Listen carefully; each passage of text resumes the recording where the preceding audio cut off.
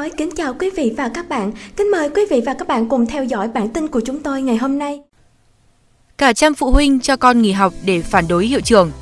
Quý vị và các bạn thân mến, ông Hoàng Văn Thụ, trưởng phòng giáo dục huyện Hưng Nguyên, tỉnh Nghệ An cho biết, chiều ngày 14 tháng 11, phòng giáo dục và lãnh đạo xã Hưng Thắng có cuộc họp tìm hướng xử lý việc một số phụ huynh không đưa con tới trường.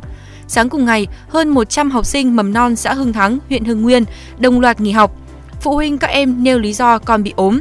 Song trên thực tế, khi cơ quan chức năng vào cuộc tìm hiểu thì biết được phần nhiều phụ huynh cho con em nghỉ học để phản đối việc cô Lê Thị Thu Hà, hiệu trưởng nhà trường, chưa bị xử lý kỷ luật sau sự cố lạm thu đầu năm.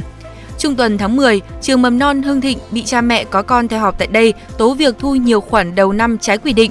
Cụ thể như mỗi em học sinh phải đóng 344.000 đồng tiền thuê nấu ăn bán chú, tiền xã hội hóa từ 700.000 trên một em trên một năm trở lên, 365.000 đồng tiền đồ chơi cùng nhiều khoản thu khác.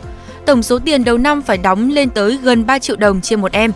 Đầu tháng 11, Sở Giáo dục Đào tạo Nghệ An có công văn yêu cầu Phòng Giáo dục huyện Hưng Nguyên thẩm tra việc lạm thu nêu trên, đồng thời có hình thức kỷ luật những tập thể cá nhân vi phạm. Trưởng phòng Giáo dục huyện nói, tổ công tác đã xác định nhà trường lạm thu một số khoản nên thu hồi tiền trả lại cho phụ huynh. Cụ thể cá nhân hay tập thể nào vi phạm thì do hội đồng kỷ luật ra quyết định theo trình tự. Không thể nói sai là xử lý được ngay trong ngày 1 ngày 2. Ông Phan Quang Mão, Chủ tịch xã Hưng Thắng cho hay, chính quyền sẽ tổ chức tuyên truyền để phụ huynh hiểu được vấn đề, đưa các cháu tới trường. Cặp đôi học sinh gây sốc khi âu yếm ở trung tâm thương mại. Thưa quý vị, sự táo bạo của cặp đôi còn nhỏ tuổi này giữa nơi công cộng khiến nhiều người không khỏi ngao ngán thở dài. Cách đây ít giờ, một đoạn clip ngắn quay tại một trung tâm thương mại ở quận Tân Phú, thành phố Hồ Chí Minh được chia sẻ với tốc độ chóng mặt trên các trang mạng xã hội và khiến người xem không khỏi sửng sốt. Trong clip, một cặp đôi tình nhân còn mặc áo đồng phục trường cấp 3 thẳng nhiên có những hành động âu yếm táo bạo trước sự chứng kiến của đông người qua lại. Nữ sinh nằm dài trên ghế, gối đầu lên chân chàng trai và họ tự do thể hiện tình yêu như thể đang ở không gian riêng. Hình ảnh không đẹp và không phù hợp với lứa tuổi của hai em khiến bất cứ ai bắt gặp cũng thấy ái ngại đỏ mặt mà quay mặt đi.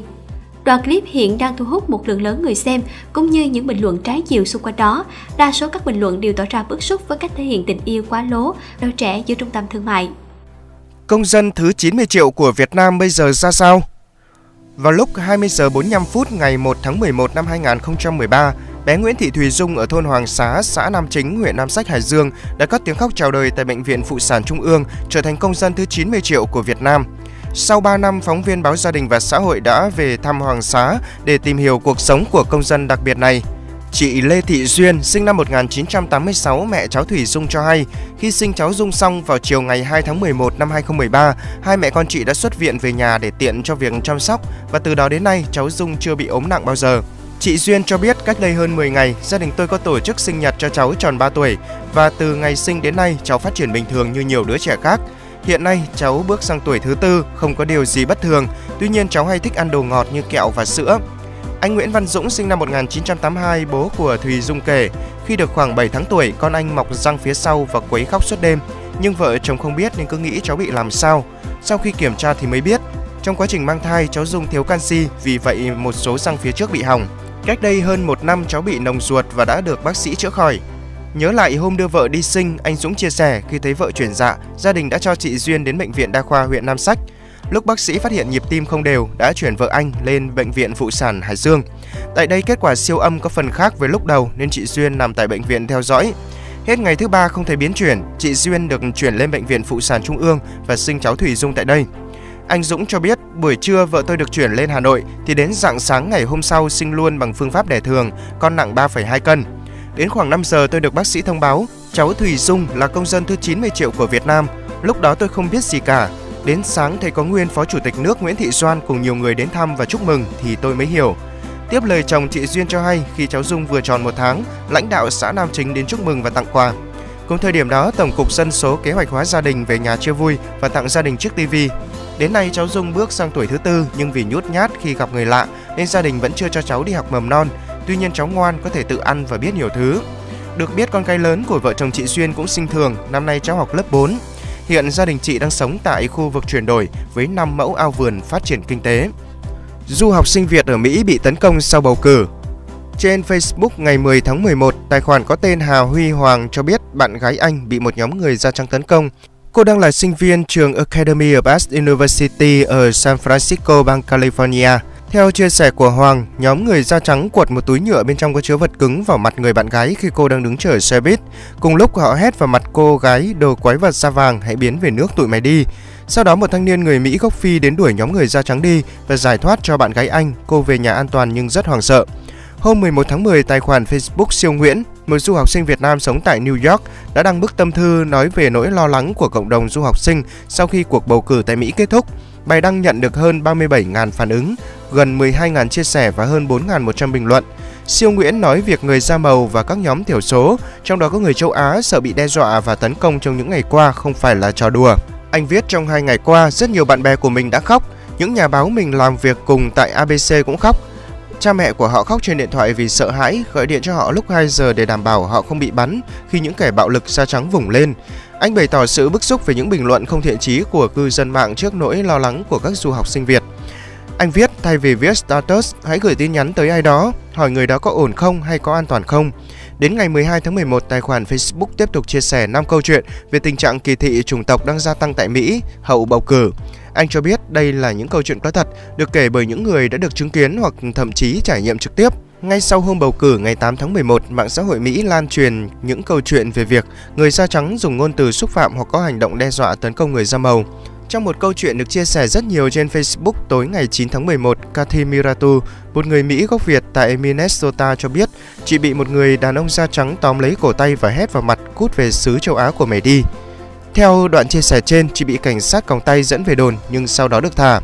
Rất nhiều người gốc châu Á tại Mỹ đã chia sẻ lên Twitter việc bạn bè người thân hoặc chính họ bị những nhóm người da trắng chửi thề hoặc gọi bằng những từ lóng mang tính lăng mạ.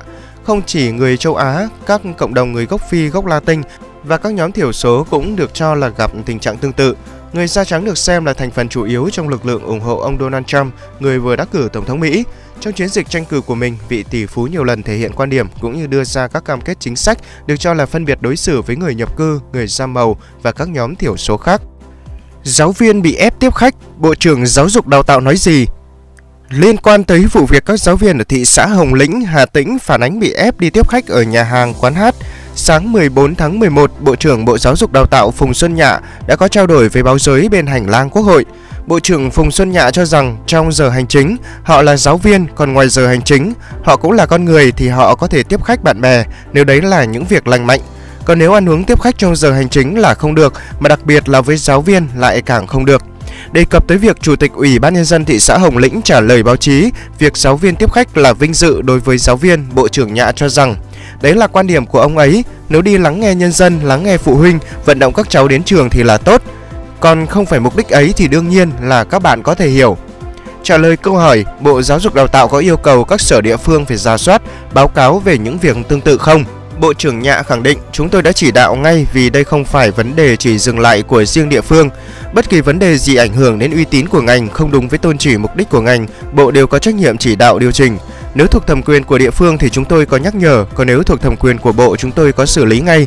Còn những vấn đề xảy ra hàng ngày là không tránh khỏi, nhưng khi để xảy ra bất kỳ vấn đề gì mà không đúng với chủ trương của Bộ Giáo dục, đặc biệt là vi phạm đến phẩm chất người giáo viên thì phải xử lý ngay. Bộ trưởng Phùng Xuân Nhạ khẳng định các thầy cô giáo ngoài việc chuyên môn thì còn là một tấm gương, đã là tấm gương thì không thể nói chỉ chấp hành kỷ luật trong giờ hành chính, còn ngoài giờ hành chính thì không. Một nhà giáo phải gương mẫu cả trong và ngoài giờ hành chính, hình ảnh của người nhà giáo không chỉ trong mắt học trò mà còn trong mắt của phụ huynh, của nhân dân. Thầy cô nghiêm túc chuẩn mực là tấm gương sáng rất tốt, thậm chí đâu đó đạo đức phẩm chất còn hơn cả về chuyên môn đưa ý kiến về thông tin, các giáo viên phải làm những việc mà địa phương này yêu cầu. Và trả lời câu hỏi về phía địa phương đã báo cáo Bộ chưa, Bộ trưởng Phùng Xuân Nhạ nói, cần làm rõ trách nhiệm đến đâu xử lý đến đấy, phải nghiêm túc trong việc này bởi đây là hành vi trong chỉ đạo, dù là quan hệ dân sự nhưng phải nghiêm túc rút kinh nghiệm. Chúng tôi đã chỉ đạo và nhắc nhở thì đương nhiên họ cũng có trả lời.